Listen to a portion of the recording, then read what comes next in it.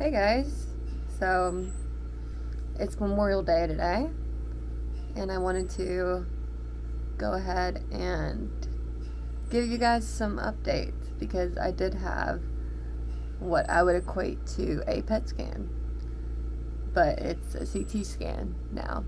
That's what my um, new care team does is CT scans, which I actually like better because it's um quick the exam is five minutes, you know, 10 minutes at most, versus being, and you can eat, drink for the most part. I didn't eat anything just to be safe, but yeah, I mean, it's better. It's better. I like it. Um, yeah. So, the medicine I'm on Trodelvy is different than chemotherapy.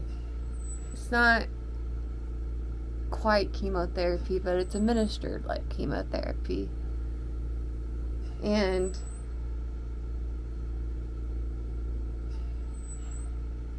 really, let me start with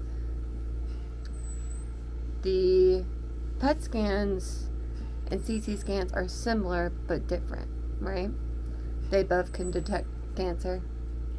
But they run different, you know, they're different scans. Um, the images and the people who read them are they're people. So they type the results, right? But the images may see the same thing. So I had my CT scan and the results were posted um, I think. Sorry, my nose is running. Let me go get a tissue. So no matter what treatment I get, whether it's chemo or Trodelvy, um, every time I get administered drugs, these treatments, it makes my nose just run like crazy. Straight clear fluid. It's not nasty like snot. It's just clear fluid. But yeah, so I always have a runny nose for the most part. Um, but in the day, um, I'm going to repeat what I said before a little bit. These results that you're reading are typed by people, by people who have been trained to do their job. They see these things all the time, so they know what to look for. So they type with detail and they type with intention, right? To be accurate. So when you read everything that's written, you take it for exactly what it is black and white. Black and white, like it is on the paper.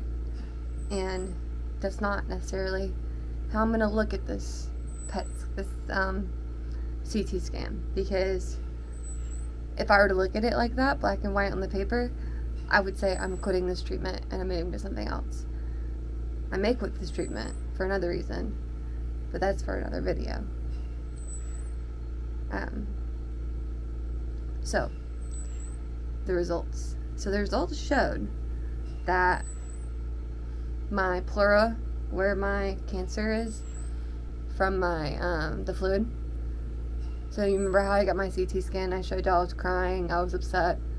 So it showed that I have a small pleural effusion on my right lung, which is that's what the malignant cancer is. But it's small.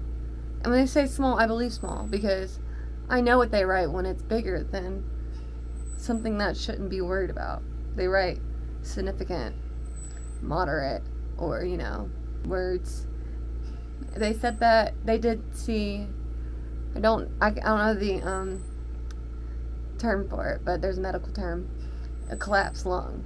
So my lung is not expanding all the way. So when I was sad in that video um, with the chest scan. You know, I was sad more about the reality of hospice and stuff. But I was also, you know, sad about the PET scan, you know, or the chest scan. And I was like, I don't know what it is. Is it this or that? It looks like it's both. And I'm okay with that because it is what it is.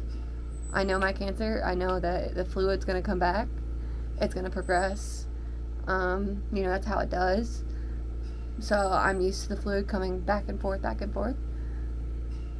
In the collapsed lung, it gives me certainty. Yes, I know this has happened to me. It is stuck or collapsed and trapped, whatever you want to call it. So, yes, that showed up on the CT scan. So that gave me some answers there. Um, it did show increased tumors in my breasts, which I, I knew was happening because um, I went and saw my um, breast surgeon. She ordered the mammogram and the breast biopsy, well, the ultrasound, and then they were decided to do a breast biopsy, which they're going to test for the tumors to see if they're cancer, and they are going to be cancer. But the only thing that we are worried about is we want them to be the same cancer, which is hormone positive, H HER2 negative. If it's different, then we got a problem. We're treating the wrong thing. We got to change treatments. And so that's pending results. I had my biopsy um, Thursday before the holiday weekend. So that probably won't be in until later this coming up week. And then Tuesday, this tomorrow, I go see my pulmonologist. So that'll be nice to talk to him to see what he thinks and considers for these um, findings, you know. And my Emory doctor is setting me up with a pulmonologist in their network um, so that I can uh, switch my care eventually. But for the time, it'll be nice to just get um, talk to my Northside pulmonologist. And then it showed my peritoneal, I always want to say peritoneal, peritoneal area where my stomach is, where it spread there, was still active, but it had some trace fluid, which is very, very, very small amount. Like you could barely see it, trace, you know? So I'm not worried about that right now. Um, and then lymph nodes are still inflamed, still large, but no significant changes there. And then it showed I have a new spot that's on my spine. So it's in the middle of my spine. It's my T10. T10. And they call it a lesion, a lesion. It's like a soft spot on your spine. So it's not really a tumor, it's a soft spot. They say it's, you know, so really, you could say I have bone metastasis now. So I have pleural, peritoneal, lymph nodes, bone. Right? I have four. And then it showed. I think that was it. I think I hit the cliff notes. It was a lot more writing, and it was scary because there was a lot of like, but the initial um, impression that the radiologist found was that there was disease progression, which meant that the treatment was not working. So I was freaking out because I hadn't talked to my doctor. And I'm crying. I'm like, again, here we are, another failed treatment, another bad scan. And then my doctor was called me that Friday before the holiday. I was like, I am waiting on the images from Northside so I can compare the images before we talk about this scan. So do not, because I, I messaged him on the portal that night before saying how worried I was. He's like, don't freak out. Don't make any like rash decisions until I get these images. So I called Northside myself and was like, they need these images. I need them before the holiday weekend. They sent them over and he called me and he was chipper as can be. He was like, oh my god. They didn't say oh my god, but like, we just compared the images the radiologist did, and they are almost exactly the same. He's like, just very, very small difference. He's like, almost exactly the same. And he was like, this is good. This is stable. It's like, this is what we would see. It's a stable scan. And I'm like, what? I'm over here mourning already, starting a new chemo. And he's like, I think we should stay with this treatment. I think this is keeping you stable. So, you know, because I got my scans early because of all the stuff that was going on with my chest and my breast. So, I've only been on this treatment for two months. So, they usually wait at least three. He's like, I think we should give this some more time. So, this is when And I had I had had trouble making this video because I knew that a lot of people watch me and they come to me for positivity, hope, you know, and not a lot of people have a lot of opinions. At least they don't express them in the comments. And if they do, you know, I kind of just delete them and move on because I don't like that negativity to affect me. I don't need that in my life. But I knew this to be controversial. And a lot of you say, no, man, it's not controversial. Trust your doctors. You know, he's happy, continuing treatment. And this is when you come down to that debate of is, is it black and white? Is it disease progression because I have something on my spine now? Or is it trust your doctor? He's been doing this for years. He's going to know if it's progressed enough to stop treatment, you know, to move to something else. So it may be up for debate whether you trust my doctor or not. And that's up for you to decide on, you know, on your own. But what I've decided, based off of our conversation and the fact that the radiologist went back in and amended the CT scan to say that it didn't show, the images didn't show progression like they had shown. And so for that, I decided to trust my doctors and stay on the treatment as planned. I was like, Mm, you know, that's great. Kind of like cry with joy for there for a second, you know? Because I made it through 12 months. I'm on a, I'm like a newborn now. So instead of like saying like I'm 32 years old, we're just gonna say I'm like 17 months. So I'm 17 months going on 18 months since stage four. So